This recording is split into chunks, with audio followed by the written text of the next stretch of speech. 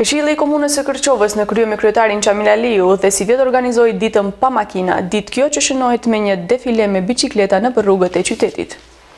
Këshilli i Komunës së Kërçovës në bashkëpunim me Ministrinë e Mjedisit Jetësor dhe Planifikimit Hapësinor edhe sivjet si viteve të kaluara organizuan defile me biçikleta në rrugët e qytetit të Kërçovës për të shënuar Ditën Europiane pa Automobila, ku morën pjesë nxënës nga të gjitha shkollat fillore dhe të mesme e ku u bashkëngjitën edhe administrata e komunës. Defilimi filloi para ndërtesës së Komunës së Kërçovës, vazhdoi në rrugën Radniçka deri tek bulevardi i Çlirimit dhe anasjelltas. Gjatë gjithë defilimit pjesëmarrësit ishin në mbikëqyrjen e pjesëtarëve të Stacionit Policor të Kërçovës. Para fillimit të defilimit me biçikleta para pjesëmarrësve, kryetari i Këshillit të Komunës së Kërçovës, Qamil Aliu, foli lidhur me këtë aktivitet dhe shtoi,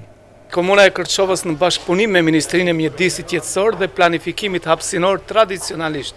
merr pjesë në Javën Evropiane të Automjeteve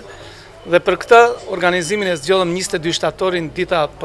pa automjete ku tradicionalisht tek ne por edhe në botë mbyllet një rrugicë e frekuentuar dhe rezervohet për biçiklistë dhe këmbësorë.